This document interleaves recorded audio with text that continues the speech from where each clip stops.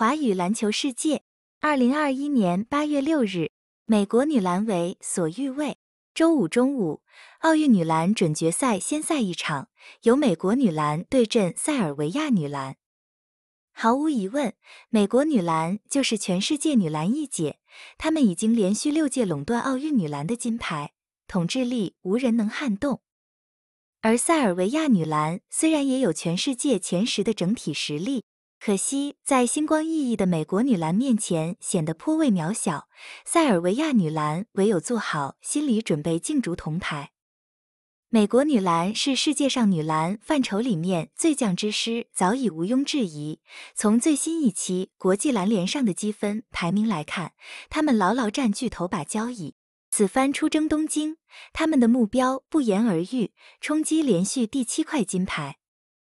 分组赛阶段，美国女篮无需太多热身就打出摧枯拉朽之势，连胜尼日利亚、日本和法国女篮，轻松晋级半准决赛。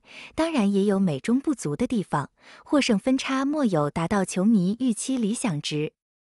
来到淘汰赛，美国女篮在与世界排名第二澳洲女篮的较量中，半场结束就建立起超过二十分领先优势。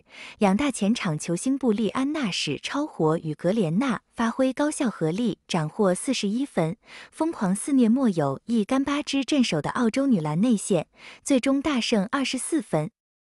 而五十五分也是球队今届赛事以来最低失分，足见美国女篮状态进一步升温。值得一提的是，美国女篮相对于其他对手，不单指内线优势十足，而且后卫与侧翼都相当优秀。他们防守侵略性强，攻防转换速度之快，更是令人望尘莫及。泰纳斯、珍维莱特和身手全面的艾查威尔逊联手筑起的防线，频繁打出水银泻地的反击。总而言之，美国女篮目前一切都处于积极前进势头。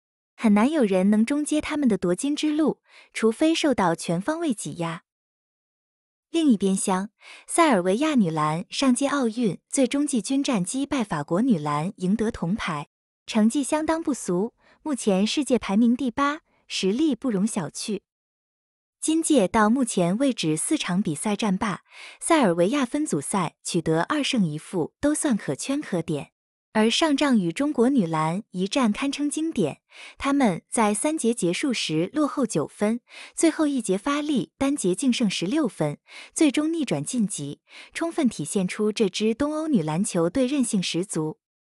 不过要注意，塞尔维亚过去四场比赛从未试过半场落后，一场逆风球当中更多可能是偶然性。而金仗对手美国女篮同样也是习惯一直掌控主动。并且他们的实力比任何对手高出至少一个档次。塞尔维亚女篮此役难以重演翻盘好戏。